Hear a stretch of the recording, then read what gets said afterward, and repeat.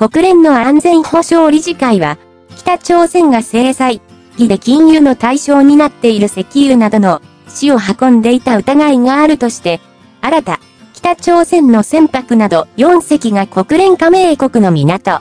入ることを禁止する措置を取る見通しと、たことが明らかになりました。リは、国連安保理で採択された制裁決の、起用状況を調べる制裁委員会に対し、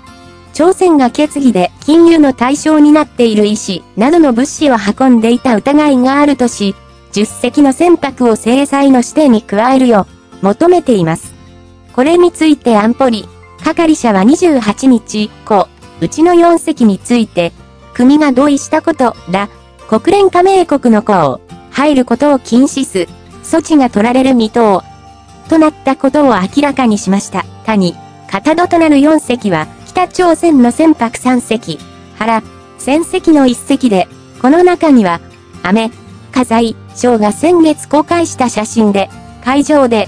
付けされた国籍不明の船から石油の可能がある物資を移し替える様子が映ってい、北朝鮮の貨物船、レソンガン1も含まっています。